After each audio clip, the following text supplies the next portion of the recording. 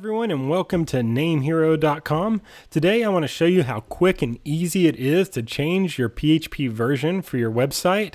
Now depending on what kind of scripts you're running or if you're a developer, uh, you might find the need that you need to either upgrade or downgrade the version of PHP that your account came with. Now by default, we, we run the typically the uh, most stable version of PHP by default, but if you find that it's not working for you, if you want to change or if you want to upgrade, especially we're seeing a lot of people wanting to upgrade to PHP 7, then you can do that. And you can do that per cPanel account. So if you have multiple accounts with us, say you're a reseller and you have multiple sites with us, you don't have to upgrade all of your websites. Maybe you just want to do it to one. Maybe you're setting up a development um, staging area and you want to just test how much faster is PHP 7. Um, so that's definitely possible with Name Hero. Now, unlike other web hosts or um, old school methods, you don't have to go doing, do this inside of your htaccess file. You don't have to have a custom PHP ini file. We find that that's too monotonous, it's too complicated, especially for our customers that aren't as fluent in code or PHP. Instead, everything is done right inside of cPanel, so you can basically just select your PHP version, save it, and then you're off to the races. So let me demonstrate exactly how you go about doing that. I'm going to head over to namehero.com. Um, I'm just going to hit the main page of the site, and then I want to log into my account, and feel free to follow along. So I'll click log in. I'm going to go into my demo account. You're going to see we hit our two-factor authentication. Um, if you don't have that enabled on your account, I certainly recommend it. It's the highest level of security to make sure that only you have access to your website. Okay, so we're going to go into find our hosting package. I'm going to demonstrate this on a basic plus package. Um, this is the same method if you have a reseller account. You just have to access the cPanel of the website that you're trying to um, upgrade the PHP. So I'll click basic plus. From here, I'm going to log into cPanel. So I'll just click log into cPanel. Okay, from inside of here, this is cPanel. This is where we control everything. This is where I can set my PHP information, where I can upload my files, where I can install WordPress. Everything's handled right inside of here.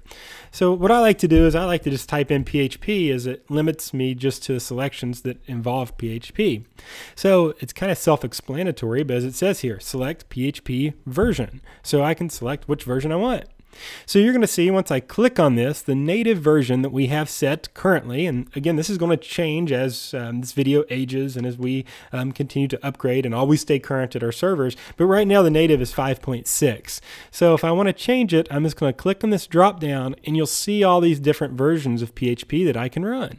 So I can go back to all the way to 4.4 and when we see this happen, we have customers that have some really old school scripts or some old school websites and they like to go back to 4. 4.4 and then develop towards the, the new versions of PHP. So that comes in handy. It's not used a lot, especially like it used to be maybe even a year ago, um, but it is needed sometimes. So we have older versions of PHP. Now, if you want to upgrade to 7.0 or even 7.1, this is what we're seeing most of our customers want to do. They're, they've experienced PHP 5 for many years and they're ready to take that jump because if you've researched it, PHP 7.0 performs better, it's more secure, um, and your site will just load a lot faster. So, of course, who does not want speed? So you'll click 7 and then you want to click set as current and that will save it. You can see now it says current PHP version is 7.0. Um, now at that point you can add or take away any extensions that you do not need. Um, one of the most popular ones is like the IonCube loader. You can see that that is selected in here and it's already on. Um, if you want to take that away, you're more than welcome to do so. But these are extensions that you need for your scripts or um, any software that you're going to add. And most of the time, when you go to install a script, it's going to say, hey, install these PHP extensions. Well, you used to have to submit a ticket to customer service, and we would have to install this manually for you. Not anymore. You can add or take away the extensions right here inside of cPanel.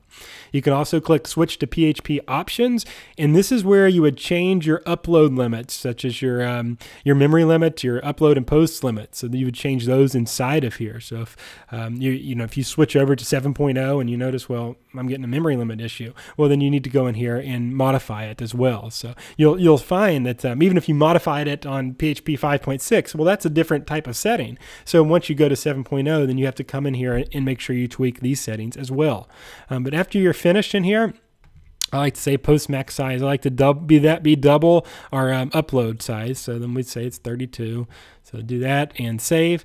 So once you're finished, it's all set. You're now running 7.0 on your website, um, and then you can go about your day. That's really as quick and easy as it is. And again, you can go back to if you continue to go to your site? Like well okay 7.0 it works for wordpress and it works for a couple other scripts but it's still not working for my um, my other one of my other scripts that i need. So then you can simply click here and roll back to 5.6 set as current and now your website's running 5.6. So it's that quick and easy to change what version of PHP that you want to use, to upgrade or to downgrade in, in real time.